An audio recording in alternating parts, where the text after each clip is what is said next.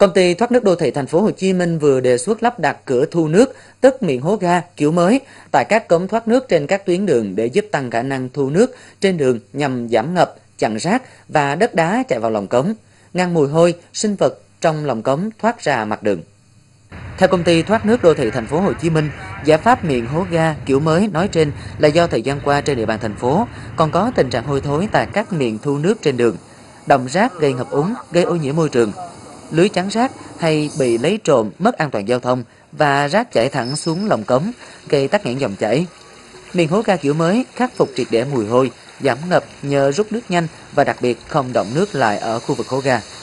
Hiện toàn thành phố Hồ Chí Minh có hơn 87.000 miệng thu nước thải trên các tuyến đường. Công ty thoát nước đô thị thành phố đề xuất thực hiện khoảng 50 miệng hố ga trên 15 tuyến đường với tổng kinh phí khoảng 20 triệu đồng một cái.